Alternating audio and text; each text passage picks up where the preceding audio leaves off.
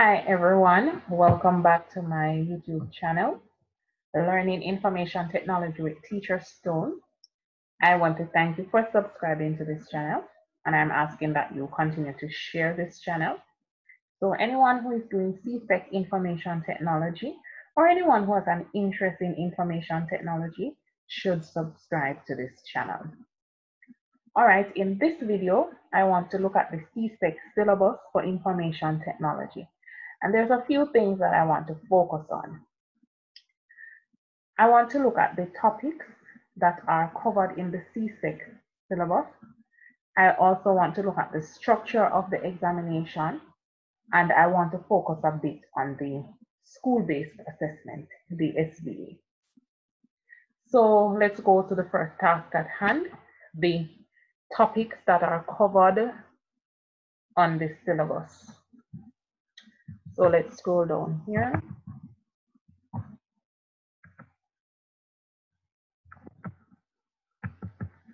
All right. So in section one, we look at computer fundamentals and information processing. In section two, we look at computer networks and web technologies. In section three, we look at social and economic impact of information and communications technology. Section four, we look at word processing and web page design. Section five looks at spreadsheets. Section six looks at database management. Section seven focuses on problem solving and program design. And section eight looks at program implementation. So this syllabus has three big parts. The theory, which is covered in sections one, two, and three. Productivity tools, which covers sections four, five, and six. And then problem solving and program implementation, which is sections seven and 8.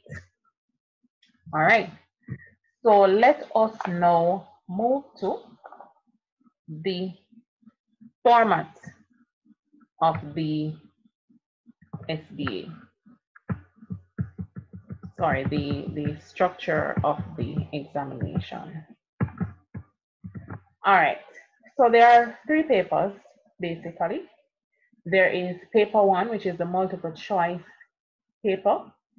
This paper consists of 60 questions, 35 items coming from sections 1, 2, and 3, which is the theory section. Then there are 15 items coming from section 4, 5, and 6, which is the productivity tools section. And then there are 10 items coming from sections 7 and 8. That's the problem solving and program implementation section. Now, each candidate has an hour and 15 minutes to complete this paper. Paper two, which is the structured paper, it has four compulsory structured questions that are taken from all areas of the syllabus. But the marks are allocated based on the sections. So for the theory profile, which is sections one, two, and three, it is worth 35 marks. For the productivity tools, which is sections four, five, and six, it, were, it is worth 30 marks and 25 marks for the problem solving and programming section. Now each candidate has two hours to complete this paper.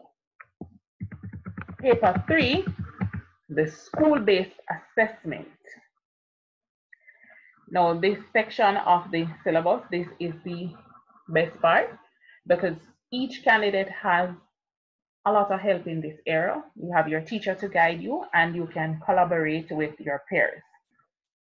Now the SBA is a practical project that tests sections four, five, six, and seven, also eight. So it looks at word processing, web page design, spreadsheet, database management, problem solving, and program design and program implementation. Now this project carries 50 marks, so it accounts for 25% of the final grade. 10 for word processing, 5 for web page design, 10 for spreadsheet, 10 for database management, and 15 for problem solving. All right, so let us look at the SBA itself. Now, in this syllabus, there is a sample SBA. Let me find that. So the sample SBA, it basically guides us on what the SBA itself looks like. And we can work through it so as to get an understanding when your teacher provides you with a question. So this is the sample SBA, and we can look at the description of this project. We see here that this project focuses on a national general, general election. And we look at the parts. So there's the spreadsheet section. If we go down, we will see that the next section is the database section. And then we have the word processing section, followed by the web page design, followed by problem solving, and it concludes with program implementation. So let us go back up to the first section, which is the spreadsheet section in this question. In this section, we are going to be using worksheets, formulas, and functions. And we are also going to be creating charts and pivot tables, right? In the database section, we're going to be creating tables, populating tables. In populating, we'll be required to import some data from the spreadsheet section that was previously completed. And then we're going to use queries to generate specific data that we need. We're going to be displaying some data in the report. And we're also going to be doing a form. For the word processing section, we are going to be creating a form as well. So we're going to do a nomination form. So it's a fillable form that we're going to be creating here. And we're going to be including logo and all of that. So you can get creative in your logo design. And then the second part of the word processing is where we're going to be doing a mail merge. So we're going to be doing a letter and all the requirements are outlined here. Then we go to web page design. Now in this section, we don't have to do web page design by using HTML. There are suggested tools that we can use to do the web page design. And CXC suggests that we use free online web services such as Wix.com, Webnode.com, or Weebly.com. All right. It even suggests Google Sites as well. All right. So nothing hard you earn your marks quite easily there. Just be creative, all right? And provide the information that is required. That's the most important part.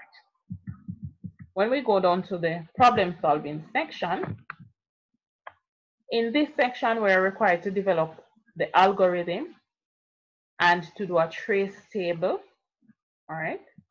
And then the program implementation section, is where we develop the problem statement for the algorithm that was created in the problem solving section of here.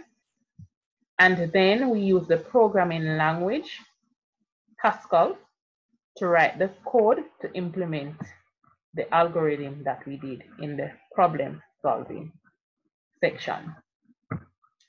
All right, so what I'm going to do, I'm going to be working through this sample SBA in the CSEC syllabus I would love for you to have a copy of it so that you can read through.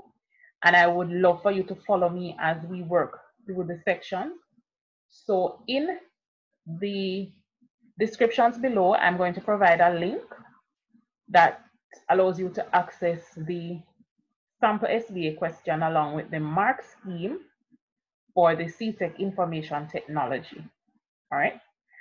Also, I'm going to be doing a video for each section.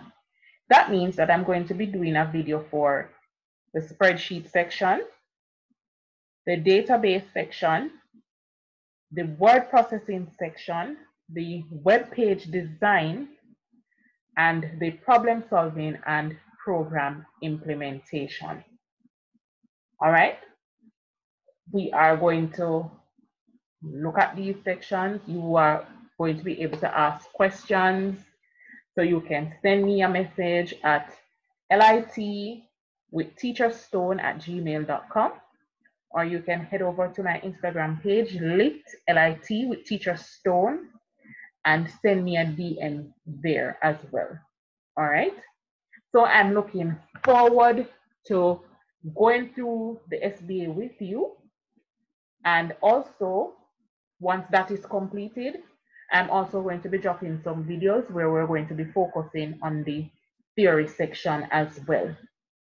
The aim is that we, I want to help you to do well at this subject. I know that many of you think the subject is difficult. It's not. Everything takes practice, some determination, and of course, a little help goes a very long way, and that's what I'm here for. So once again, I'm asking you to tell a friend, to tell a friend to head over to YouTube, my channel again, Learning Information Technology with Teacher Stone. I want you to look at the video that was placed there before, drop a comment there, drop a like, subscribe, turn on your notification so that you don't miss when I drop a new video there. All right. Thanks again for watching.